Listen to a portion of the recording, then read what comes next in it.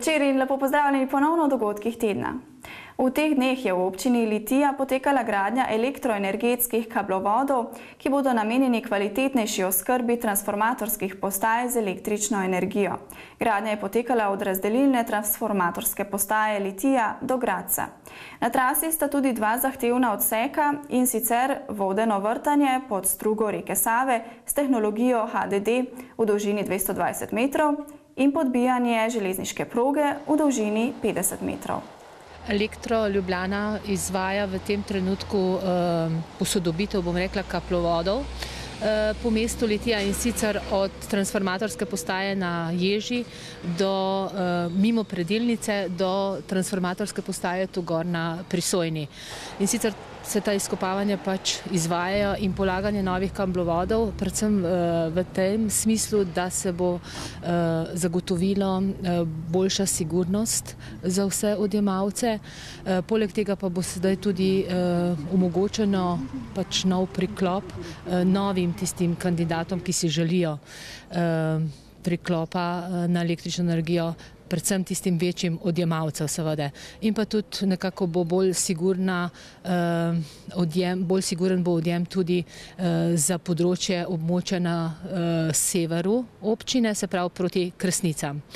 Da se pač to sedaj izvaja, potem ko smo imeli že kar precej izkopavanja v mestu v lanskem letu, predlanskem, je pa žal takšni so postopki administrativni in uh, Elektro Ljubljana je pač to uh, pridobil dovoljenje šele v tem letu in tako smo pač nismo mogli istočasno s polaganjem kanalizacije izvesti tudi to. Uh, je pa res, da smo se pač z investitorjem dogovorili, da se potem uredi vozišče tako kot je bilo, oziroma da se preplasti eh, celotno vozišče tam, ko bo potrebno, ponekje pa eh, le polovica. Tako da mislim, da bo stanje eh, na cestah potem ravno tako urejeno. Je pa res mal problematična zadeva glede gospodarnosti, ampak žal so ti evropski projekti časovno tako vezani na en rok, da v bistvu se niti ne da čakati.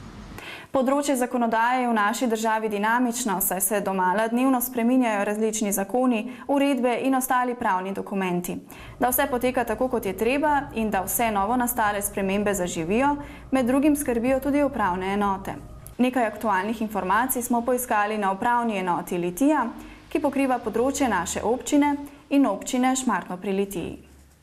Trenutno najbolj aktualne zadeve so seveda tujci, oziroma uh, novo enotno dovoljenje za delo in prebivanje. Do sedaj je vsak tujec, ki je v to državo prišel, ne, če je zaprosil za prebivanje, je posebej zaprosil za prebivanje na upravni enoti. Če je potem prišel do, do možnosti kakšne zaposlitve, je moral spet posebej ponovno dovoljenje za delo ali pa za samostojno delo na zavod za zaposlovanje. Ne. Tako da sedaj je to uh, urejeno kot eno samo dovoljenje, enotno dovoljenje in tujec, ko stopi, to dovoljenje že pridobi. Seveda vedo ti ljudje, da morajo zaprositi za njega na uh, konzularnih predstavništvih. Če pa je to podjetje, ki je recimo nekega tujca, bomo rekli, uvozi ne, za delo, uh, pa lahko podjetje samo že vnaprej zaprosi za to enotno dovoljenje na upravni enoti in tudi upravna enota vse to uredi in uh, samo zadevo vodi po vnaprej dogovorjenem postopku, tako da ljudje ne rabijo hoditi od vrat do vrat. Se pravi, to je ena precej velika ugodnost, uh, manj poti, manj birokracije za tujce. To je ena od takih, bomo rekli, prijetnih zadev za državljane, čeprav so to tujci. Eh, potem naslednja novost, ki je pa pravzaprav stopila v veljavo prav danes, ki se pa zelo tiče naših občanov in občank, in občank občine Šmartno in pa Litija, eh, je, pa, je pa nov pravilnik o izpitnih centrih. Ta nov pravilnik o izpitnih centrih spet po kar nekaj časa, kar ni bil, uh, ni bil slučaj, je možno upravljati vozniške, uh, vozniški izpit oziroma izpitne vožnje tudi v Litiji. Eh, do pred leti smo to upravljali pretežno v Trbovljah, potem nekaj časa v Litiji, potem je novi pravilnik lansko leto to ukinil, eh, no letos je bil predlagan spet nov pravilnik, eh, se pravi novela. Nažalost je bil v prvi fazi celo tako, ko so nam že poslali zadevo v medresonsko usklajevanje, da je, da je bila Litija izpuščena.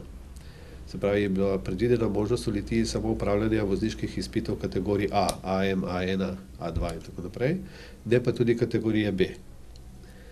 Mi smo seveda to uh, urgirali, protestirali, si prizadevali, moramo reči, kar precej veliko kilometrine, da smo potem res izposlovali, da je sedaj možno od danes naprej tudi v Litiji upravljati uh, vozniški izpit. Uh, prijave se že od danes naprej zbirajo, lahko elektronsko se prijavljajo. Uh, razlika je pa ta, da bo te izpitne vožnje nadzirala oziroma pač upravljala komisija, ki bo sedaj iz izpitnega centra Ljubljana Domžale.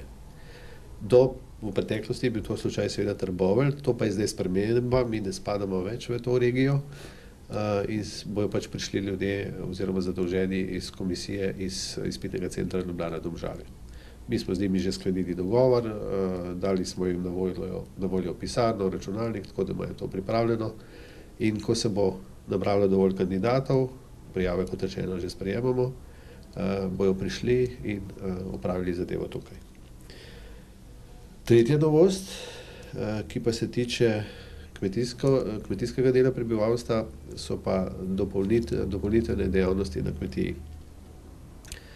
Nosilci, ki imajo že danes dovoljenje za upravljanje te dopolnilne dejavnosti na kmetiji, morajo do 1.1.2016 to dovoljenje uskladiti z novo uredbo, ki je stopila v veljavo že avgusta meseca.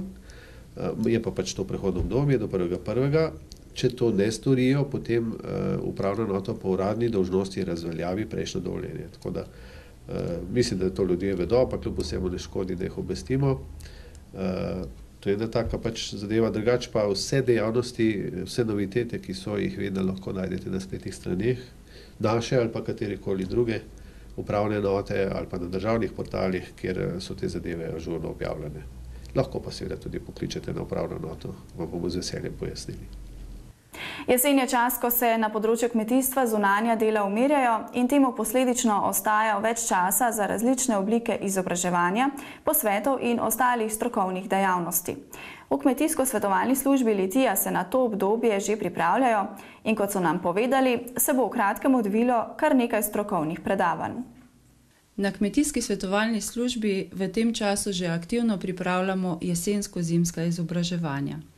Najprej bi vas povabila na osnovni tečaj um, fitofarmacevtskih sredstev, ki bo potekal od 22. do 24. 9. v popovdanskem času in sicer v Dobrunjah pri Ljubljani. Moram povedati, da imamo teh tečajev sedaj malo manj, ker po večini že vsi pridelovalci te zadeve imajo, tako da lokacije nekako uskladimo potem število prijavljenih oseb. Lepo vabljeni, kajti s tem, ko boste pridobili to potrdilo oziroma izkaznico o delu oziroma postopanju s fitofarmacevtskimi sredstvi, ste si zagotovili tudi uporabo teh sredstev v prihodnjem letu. V ponedeljek je bila v avli kulturnega centra Litija otvoritev slikarske razstave Žive Agreš, ki je tokrat na ogled postavila slike iz cikla Dolina reke Krke. Živa je v svojem življenju počela marsikaj. Bila je novinarka, delala je za revijo Jana, časnik Delo ter tudi za nacionalno radio televizijo. Po upokojitvi se je začela resno ukvarjati s slikarstvom in da je pri tem uspešna priča dejstvo, da je do sedaj imela že 17 samostojnih razstav. Eh, vas Krka navdihuje? Krka je krasna reka, res da barvo, barvo spreminja in na mojih slikah je doskrat modra, no tudi zelena, ampak tako, ko vidiš pa na koncu zime je smaragdna kot soča, enkrat smo dol še sem rekla, se to ne more biti res, da je take barve, smaragdna kot soča. Zdaj, Krki pravijo tudi speča lepotica, ne? se vi strinjate s tem psevdonimom? Ja, strinjam se zato, ker uh, je ob Krki mir. Ko če greš ti v hribe, kol bohinja, kamorkoli, to vse gumazi, to te vse prehiteva, to je polno ljudi. Ob Krki ali pa v, teh, v njenem zaledju si lahko sam, uh, je mir. Speča lepotica je pa zato, ker se to je turistično popolnoma neizkoriščena še. Uh, tudi, da bi kakšne sprehajalne poti uredili ob Krki, da bi se dobro imamo nekaj uh, kajakaštva, Carpe Diem, recimo to krasno razvija v vasi Krka, uh, vodi kajuka, uh, skanuji in kajaki, cele grupe po Krki, ampak to bi se dalo še mnogo, mnogo bolj razviti. Ampak jaz, jaz sem pa opazil, da se tudi na določene trenutke spogledujete z impresionizmom malo.